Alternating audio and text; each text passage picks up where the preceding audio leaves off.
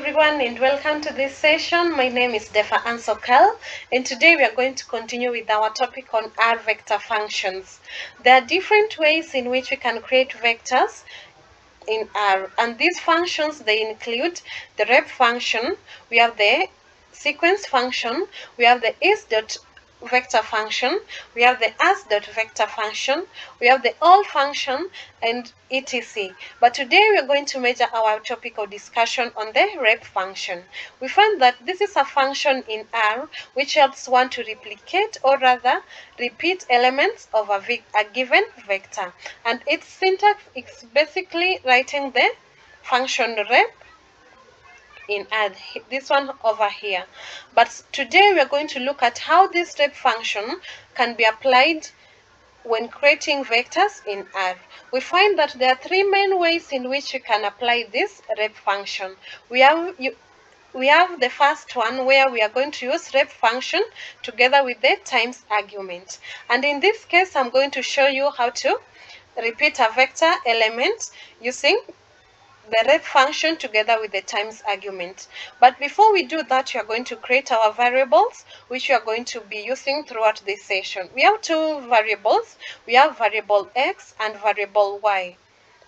And after creating our variables and assigning them values, or rather elements, and you apply this rep function together with the times argument to our variables, this is what we get. You find that here the variables or rather the elements. I mean the elements in the variables have been repeated a given number of times which we had defined earlier as three times.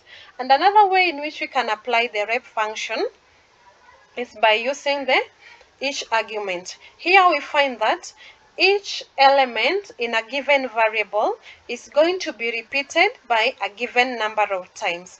And we have defined our our number of times in which each element should be repeated to be 3. So when you run this chunk, this is what you get. You find that each element has been repeated three times. Here we have A repeated three times. The same applies to element B. The same applies to element C. And lastly, we can apply the rep function by using length dot out argument. And here we find that this function will keep on repeating itself until the mentioned length is reached. Here our desired length is 6. And when we apply this length dot out argument to the together with the rep function to these variables that you had already defined, this is what we get. We find that each element is going to be repeated until our desired length is reached. And here our desired length is 6. And this comes to the end of our discussion today. And in case you have any question or any comment, kindly feel free to send them to our comment section. You can always check us on Facebook at Beyond Analysis and also on YouTube channel at Beyond Analysis. Thank you for your time and thank you for choosing to be part of our audience. Until next time, bye.